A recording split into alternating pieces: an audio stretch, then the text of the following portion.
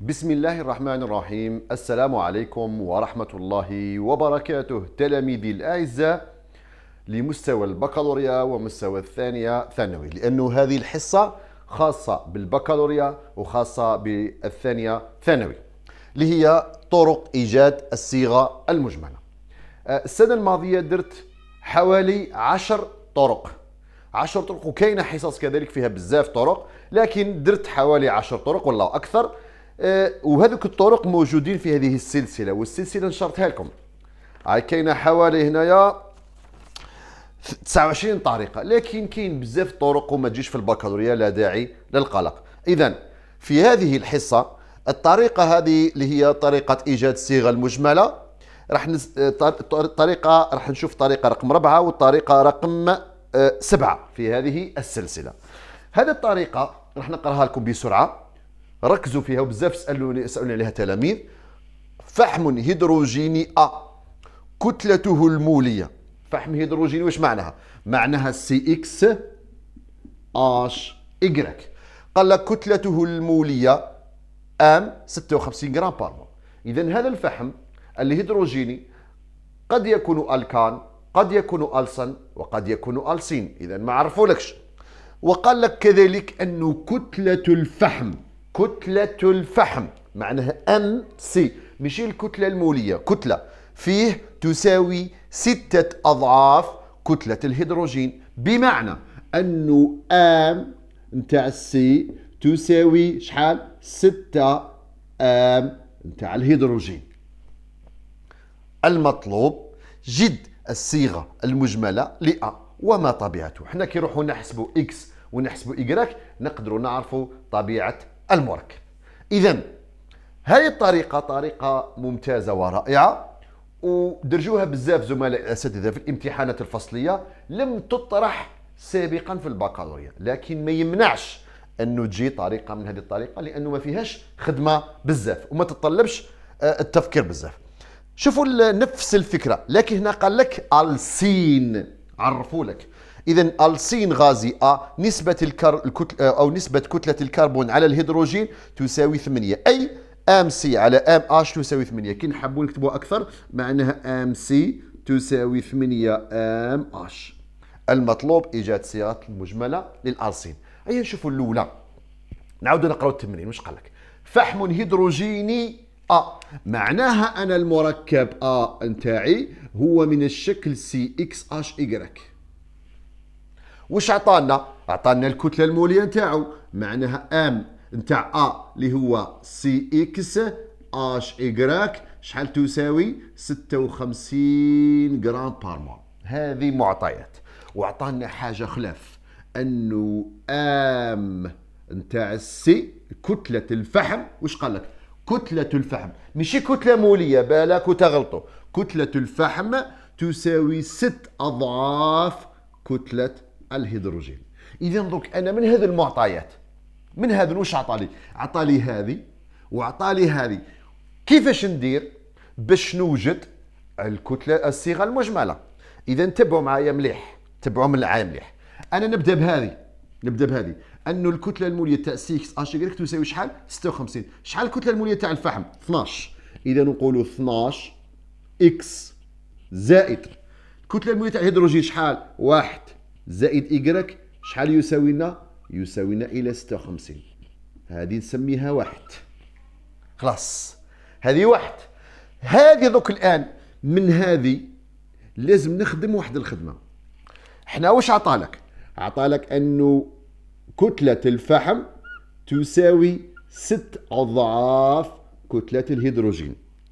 تعرفوا الرياضيات ولا ما تعرفوش؟ جيد ممتازين تقني رياضي. ما كانش واحد يعرف خير منكم؟ رياضيات. لو نقسم لو نقسم الطرف هذا على كمية المادة ونقسم الطرف هذا على كمية المادة الرياضيات اقسم على 10 اقسم على 10 لأنه التساوي اقسم على 20 اقسم على 20 اقسم على 1000 اقسم على 1000 أنا قسمت على الآن وقسمت على الآن كما تعرفوا أنتم أنه الكتلة المولية أو كمية المادة واش تساوي؟ بوتي تام على غرون تام ما دام دوك الآن عندكم petit m على أن صافي نطلع هذه هنا وهذه نهبط منها معناها الكتلة المولية واش تساوي لكم تساوي لكم petit m على ماذا؟ على كمية المادة إذا معنى هذه واش تمثل لي هذه؟ هذه واش تمثل لي؟ تمثل لي الكتلة المولية نتاع الهيدروجين وهذه واش تمثل لك؟ تمثل لك الكتلة المولية نتاع الفحم آية نعوضوهم إذا هذه هي هذه وهذه هي هذه إذا واش تولي عندي هذه الفكرة؟ تولي عندكم الكتلة المولية نتاع الفحم تساوي ستة الكتلة المولية نتاع الهيدروجين. يستلزم واش يستلزم؟ الكتلة المولية نتاع الفحم شحال هنايا؟ 12 x. والكتلة المولية تاع الهيدروجين شحال؟ واحد. إذا تولي عندكم 6 إيكغيك آه عندي واحد وعندي اثنين. نجيبوهم في جملة معادلة. إذا 12 x زائد i grec يساوي 56 واحد. وعندي ماذا؟ عندي 12 x تساوي 6 i grec 12 x تساوي 6 i grec شحال؟ 2 جيد. جملة معادلتين بمجهولين من الدرجة الأولى باش نخدموها قريتوها في المتوسط بالجمع والتعويض. إذا 12 إكس تساوي 6 إيكغيك نقدروا نختزلوا ولا ما نقدرش؟ على 6 على 6 إذا شحال تولي عندكم هنايا؟ تولي عندكم y تساوي 2 x. نسموها 2 أي دوك نديرو نعوض 2 في واحد. نجي نعوضوا هذه في واحد. اذا في بلاصه y نحطوا 2 x. تولي عندكم 12 إكس زائد 2 إكس. تساوي 56 يستلزم أجمع. تولي عندك 14 x. تساوي 56 ومنه x شحال تساوي لكم؟ 4 كي نلقاو x تساوي 4 نروح نعوضوها في الثانية. اذا إيكغيك تساوي 2 في 4 وتساوي 8 ومنه وشنو؟ صيغة A شنو هي؟ C 4 H 8 وهذه الصيغة وش توافق؟ توافق سي ان آش 2 آن. ومنه A هو alcène. مفهوم؟ الخطأ اللي يديروه بزاف تلاميذ الخطأ. صح. شوفوا رانا وصلنا. وصلنا إلى انه الكتلة المولية نتاع الفحم تساوي ست مرات الكتلة المولية الهيدروجين التلاميذ هذه الخدمة ما يخدموهاش. مباشرة كي تقول له m C تساوي 6 m H هذه راهي كتلة وليست كتلة مولية. يروح يعوضها بهذه. أخدم هذه الخدمة لازم تقسمها على n أقسمها على n ومن بعد هذه تمثل لكم كتلة مولية هذه كتلة مولية. وهو المطلوب. واضح؟ شوفوا الحالة الثانية. ألسين. ثانيا. وش قال لك؟ الأ هو ألسين. إذا الآن تاعنا صيغته سي ان مو قال لك فحم هيدروجين. بصح دوك الآن لا. ألسين. سي ان آش 2 آن. ناقص 2 واش طلب منك؟ واش طلب لك معطيات؟ قال لك أنه كتلة الفحم تساوي ثمن اضعاف كتلة الهيدروجين. نفس الفكرة نفس الخدمة. إذا واش نروحو نديرو؟ حنا كي نقسموا على آن نقسموا على آن. أقسم لي هنا على آن. واقسم لي هذه على آن. واش يستلزم لك؟ تولي عندك الكتلة المولية تاع الفحم تساوي 8 الكتلة المولية نتاع الهيدروجين. أي نخدموا بهذه؟ دوك الآن الكتلة المولية تاع الفحم من هذا وشنو؟ هي 12 آن. تساوي 8 الكتلة المولية تاع الهيدروجين. شحال؟ 2 آن ناقص 2 أنشر دوك الآن.